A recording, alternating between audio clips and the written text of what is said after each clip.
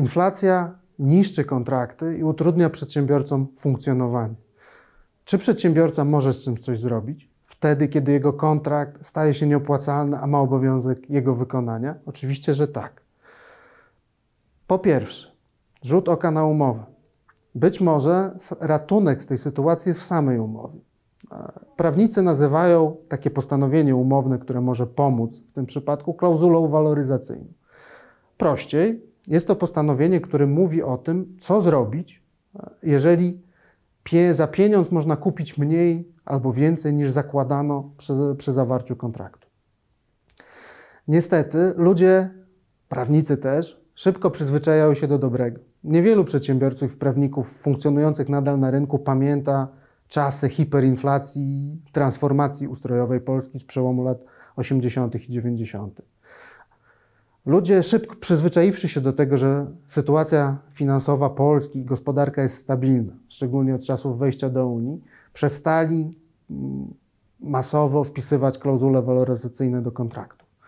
Teraz to odbija się czkawką, albowiem klauzula waloryzacyjna jest najprostszym sposobem przywrócenia kontraktowi równowagi ekonomicznej, jaką on miał w chwili zawierania, a jaką inflacja zaburzyła. Niestety, jeżeli tego, tego nie ma, to będziemy musieli negocjować z drugą stroną lub zwrócić się do sądu. Może być też tak, że klauzula, co prawda w kontrakcie jest, ale okaże się ona niewystarczająca. Bardzo popularną klauzulą jest klauzula odnosząca się do wskaźnika GUS. W innych słowach, oznacza to, że mamy w kontrakcie postanowienie, które pozwala nam zwiększyć nasze wynagrodzenie o tyle, ile GUS wykazuje, że mamy inflację, czyli obecnie około 17%. To może być niewystarczające, a w niektórych sektorach gospodarki na pewno będzie niewystarczające. Są takie sektory, są takie usługi, są takie materiały, są takie umowy, których realizacja, wykonanie zgodnie z umową wiąże się z kosztem 4-5-krotnie większym niż to było w chwili zawierania umowy. A my zostajemy z postanowieniem, które mówi tylko o tym, że możemy żądać od drugiej strony jedynie 17% więcej.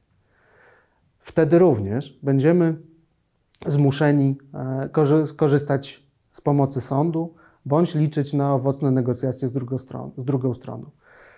Znalezienie się w takiej sytuacji jest efektem pewnego błędu w umowie, e, ponieważ klauzula waloryzacyjna powinna przewidywać, na jakim rynku przedsiębiorca funkcjonuje i wskazać odpowiedni sposób miernika wartości. Wskazanie, wskazanie wskaźnika GUS jest po prostu najprostsze i dlatego tak popularne.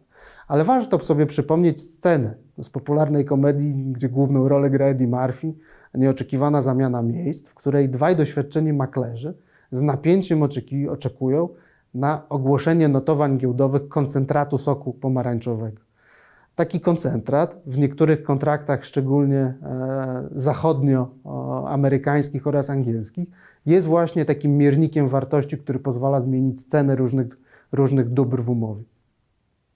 I być może taka klauzula, gdybyśmy taką mieli, pozwoliłaby uratować kontrakt e, i to, żeby był on nadal opłacalny bez udziału sądu. Jeżeli takiej klauzuli nie mamy albo jest niewystarczająca, musimy, zwróćmy się do drugiej strony. Być może nasz kontrahent, zamiast szukać szybkiego zysku, będzie chciał z nami porozmawiać o tym, jak umowę wykonać.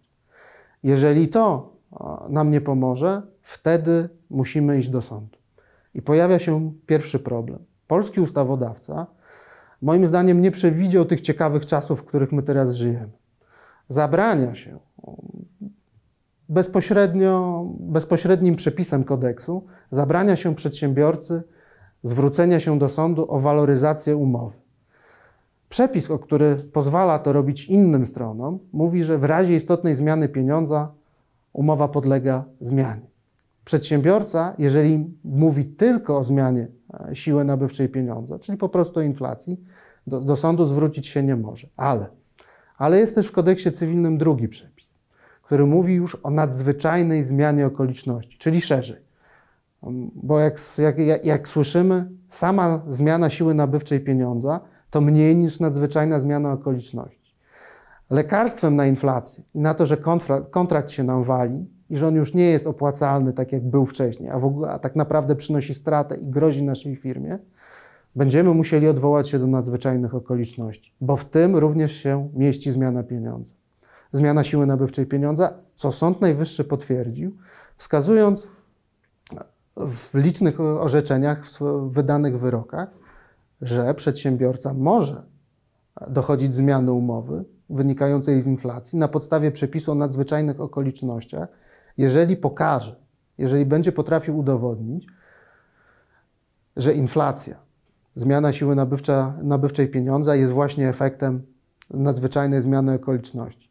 W obecnej sytuacji nie ma najmniejszych wątpliwości, że tak właśnie jest. Po pierwsze, pandemia. E, przez okres pandemii rządy wielu państw, w tym także Polski, pompowały na rynek puste pieniądze w obawie przed skutkami, skutkami pandemii, e, zatrzymania gospodarki, zatrzymania ludzi w domach. Państwo dawało pieniądze, żeby pobudzić konsumpcję.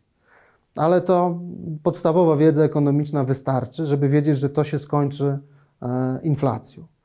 Doszedł drugi, niezależnie od drugi element, niezależnie od tego, o, o czym się mówi w mediach.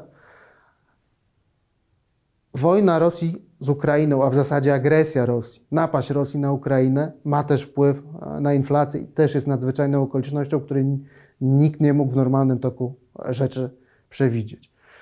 E, agresja Rosji na Ukrainę spowodowała wzrost cen surowców, surowców energetycznych, a to zawsze kończy się inflacją. Nie ma siły, żeby tak nie było. Dlatego też jesteśmy w stanie w sądzie pokazać, e, że to, że nasz kontrakt nie może być wykonany dla nas bez straty, jest wynikiem nie tylko inflacji, ale przede wszystkim czynników, które ją spowodowały.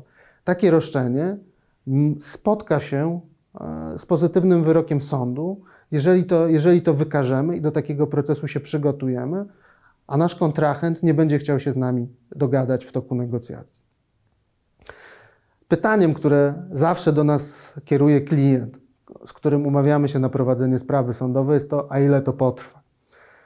Nie można państwa oszukiwać. Sądy w Polsce są wolne, są przeciążone, ale w przypadku takiej sprawy można sobie poradzić w sądzie inaczej. Mówię tutaj o zabezpieczeniu. Zabezpieczenie jest to jak gdyby wyrok, który obowiązuje na czas trwania procesu. Po prostu sąd może powiedzieć, że dopóki on sprawę do końca nie rozpatrzy, to strony mają zachowywać się tak, a tak. Możliwe jest zatem uzyskanie w orzeczenia sądowego, na mocy którego bardzo szybko zyskamy pierwszą ochronę, na przykład zostanie podwyższone nasze wynagrodzenie, a proces będzie dalej się toczył. W Polsce mamy mądrych sędziów i oni z tej instytucji zabezpieczenia lubią korzystać. Po pierwsze, bo wiedzą, ile ten proces potrwa i wiedzą, że pomoc potrzebna jest od zaraz. Po drugie, wiedzą, że zabezpieczenie bardzo często jest matką ugody i zachęca strony, żeby w obliczu istniejącego zabezpieczenia, czyli że sąd już powiedział, jak w pierwotnym założeniu wyrok powinien wyglądać, strony wtedy stają się bardziej chętne do zawarcia ugody i do prowadzenia negocjacji.